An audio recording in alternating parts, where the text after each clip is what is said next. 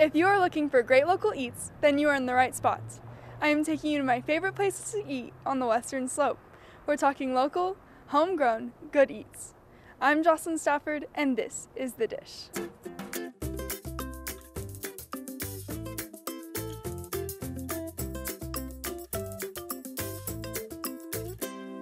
We begin our journey on Main Street. In the heart of downtown Grand Junction, the Kiln is known for its original coffee and welcoming atmosphere. This coffee bar is a well known hotspot in the Grand Valley. I actually am just new to getting into coffee, but I've heard great things. And when I told my friends I was coming here, they were all like, oh my gosh, I love that place. I go to their study. The Kiln is a unique shop on the Western Slope, offering up a new style and approach to your everyday cup of joe. Unlike national coffeehouse chains, the Kiln puts in the extra time and effort to serve its customers the best craft coffee. Um, and so, kind of our goal as a, a, within the craft coffee community is to try to hit that peak point to where uh, we're wanting to showcase the unique flavors from each coffee. After hearing so much about the Kiln's delicious coffee, we wanted to get an exclusive look at its original menu.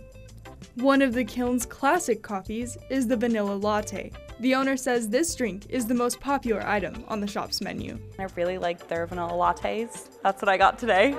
The vanilla latte is the perfect way to start your day. The Kiln has a traditional take on this beverage. With a shot of espresso, your milk preference, and a hint of vanilla to top it off, this drink has to be one of my favorites. If you stop by the Kiln and are looking to have the full craft coffee experience, I would suggest trying out the shop's pour over coffee menu. The kiln gets a lot of requests for their Ethiopian limu coffee. This is a washed coffee with hints of raspberry, orange, and caramel. If you enjoy black coffee, the kiln recommends you try this drink at least once.